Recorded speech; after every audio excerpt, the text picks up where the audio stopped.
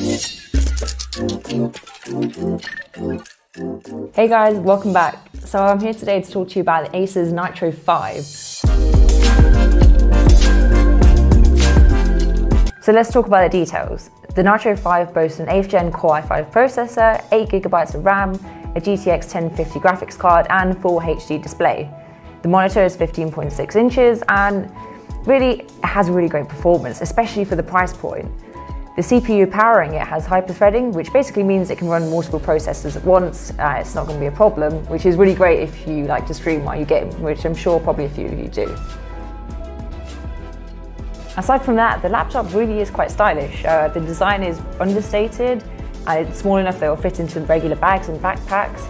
You know, there's no huge logos or LEDs you see on the back like with other, some other gaming laptops, which yeah, some of you might like, but it also would look great in an office or work environment. There's just still enough of the smaller details, you know, like the accents in red and the outline WASD keys that say like, hey, I do like games.